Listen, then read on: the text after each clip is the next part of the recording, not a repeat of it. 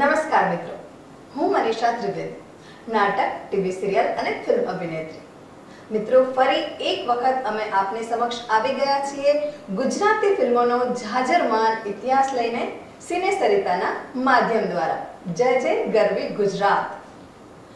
ઓગણીસો બત્રીસથી શરૂ થયેલો ગુજરાતી ફિલ્મ ઉદ્યોગ અત્યારે નવ દાયકા પૂર્ણ કરીને શતાબ્દી તરફ આગળ વધી રહ્યો છે.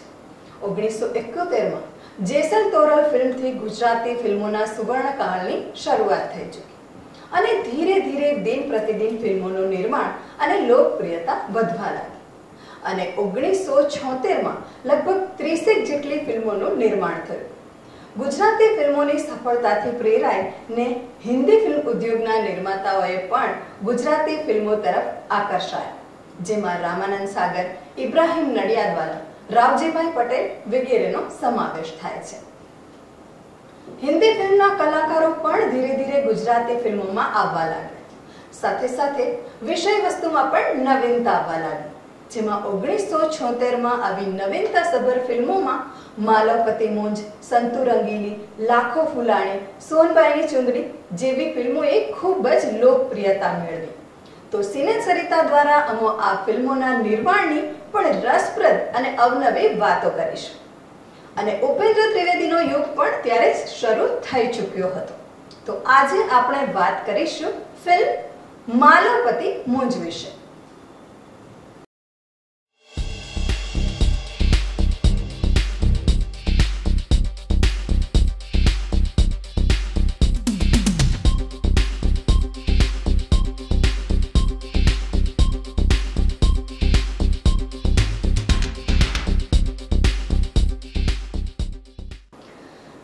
ગુજરાતી ફિલ્મોની સફળતાથી પ્રેરાય ને મદ્રાસની હંસા ફિલ્મવાળા મધુભાઈ પટેલને પણ ગુજરાતી ફિલ્મ બનાવવાની ઈચ્છા થઈ.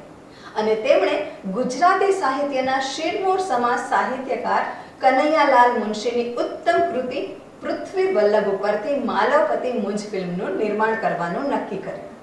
આ ફિલ્મમાં સિદ્ધહસ્ત દિગ્દર્શક રવિન્દ્ર દવેને દિગ્દર્શનનો દોર આપ્યો. અને મુંજની ભૂમિકામાં ઉપેન્દ્ર ત્રિવેદીને આપવામાં આવી.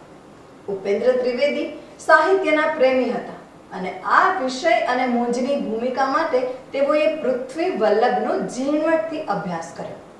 આ ભૂમિકા માટે શૌર્ય, રસિકતા ટેકીલાપણ અને સાથે સાથે આવી અનેક ખાસિયતો હોવી જોઈએ.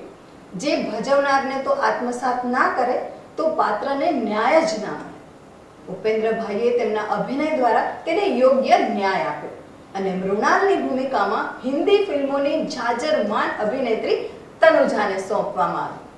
તનુજા, એટલે કે અભિનેત્રી શોભના સમર્થની પુત્રી અને અત્યારની લોકપ્રિય અભિનેત્રી કાજોલની માતા છે. ઉપેન્દ્રભાઈએ પહેલા લોકપ્રિય હિન્દી ફિલ્મ પવિત્ર પાપીમાં તનુજા સાથે અભિનય કર્યો. અને આ ફિલ્મ, જેના સંવાદો ગીતો પ્રભુલાલ દ્વિવેદીના હતા. સંગીત અવિનાશ વ્યાસનું હતું અને સાથી કલાકારોમાં મિનળ પટેલ, નવીન દવે, અરવિંદ પંડ્યા તથા મહેમાન કલાકારની ભૂમિકામાં ગુલશન ગ્રોવર હતા. આ ફિલ્મના એક એક સંવાદો અને ગીતો આજે પણ લોકહૈયે વસેલા છે. જેમાં એક સરખા દિવસ સુખના કોઈના જાતા નથી. હૃદયના શુદ્ધ પ્રેમને નિગમના જ્ઞાન ઓછા છે. અને સંવાદોમાં જોઈએ તો મને સિંહણે દૂધ પાયા છે અને ગજરાજોએ વાયુ ઢોળ્યો છે. ભિક્ષા માંગતા હું શરમાતો નથી અને મહારાજના સિંહાસન હું દાનમાં આપતા અચકાતો નથી. મેં કાયાને ઓગાળી નાખતી ને કારવી તપશ્ચર્યા કરી છે અને શૃંગાર શતકોમાં રસમાંથી ટપકેલ ભરપૂર બીભત્સતા મેં માણી છે. આવા સંવાદો આજે પણ લોકપ્રિય છે.